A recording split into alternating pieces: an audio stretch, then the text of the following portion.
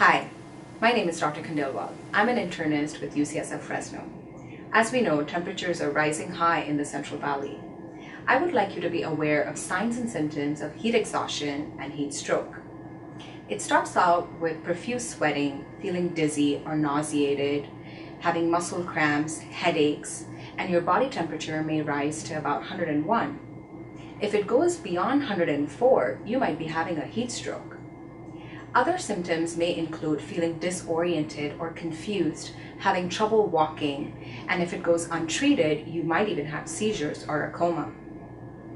If you're having any of these symptoms, the first thing is to cool down. Make sure you go to a cool shaded area, douse yourself with cold water, or pat yourself down with cold water towels, drink water and electrolytes, and then you or your friend can call 911.